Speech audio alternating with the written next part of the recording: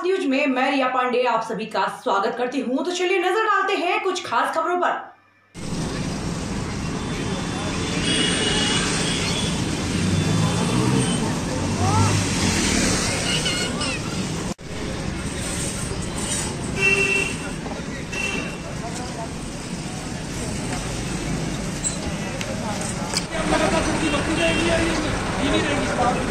आज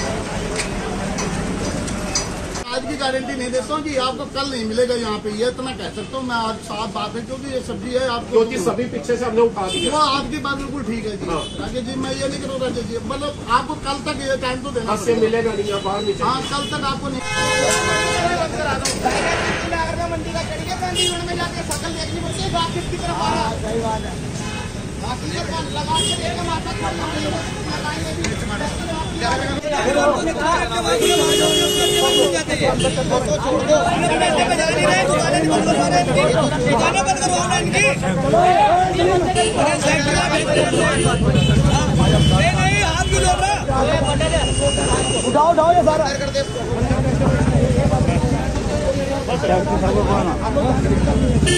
आपके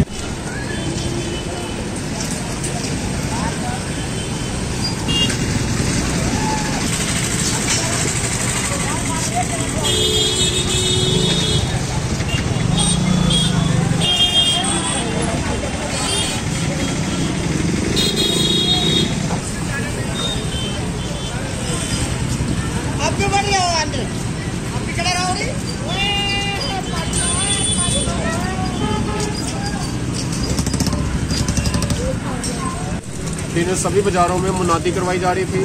कर्मचारियों द्वारा, दुकानदारों को, रेडी फड़ी वालों को आगाह किया जा रहा था कि आप अपना सामान अपने हद में रखें।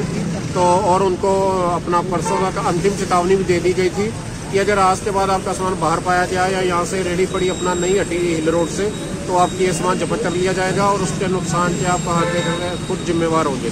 तो इसी कड़ी के तहत आज नगर परिषद द्वारा अपना जो कार्रवाई की गई है और हिल रोड से और ये अपना रामबाग रोड से, ये सारी जितनी भी हैं, रेडी पड़ी वालों को यहाँ से हटाया गया और वहाँ पे उनको इधर दीनाजी मंडी में और उधर दूसरा गांधी ग्राउंड में भेजा गया है। और उनको आगे के लिए आगाह किया जा रहा है कि वो यहाँ पर इस हिल रोड पे कोई भी रेडी पड़ी नहीं लगेगी। जो दुकानदार है वो अपना सामान अपने हाथ में रखे। और उसमें नहीं है उसको अपना आराम से वो तो सुविधा दी जहाँ हमारे को मंडी थी दीना की मंडी थी वहाँ सारे सूर सूर पल रहे हैं वहाँ कोई नहीं आता। ये दुकान वाले कब्जा करेंगे? माला में चार चार जगह बाज़ार होगा क्या? ये तो हमारे को ही तंग कर रहे हैं हम कौन सा इधर चरस बेच रहे हैं सला बेच रहे हैं। गांधी ग्रोह ने बेच रहे जी वहाँ पे तो तीन साल से हमारे पे कर्जा चढ़ गया वहाँ कर्जा कौन देगा? सरकार देगी हमारे को। सारी जब हम चलेंगे। सब्ज़ी मंडी मुक्त है। इन रोड की सब्ज़ी मंडी मुक्त है। फिर दु- दोबारा दुकानें क्यों खुल रही है? रेड़िया लेके दुकान मच्छी मोला खत्म कर दिया गया जी? वहाँ पे दोबारा कोई मच्छी की दुकान लग रही मुर्गे की दुकान लग रही नहीं लग रही ना?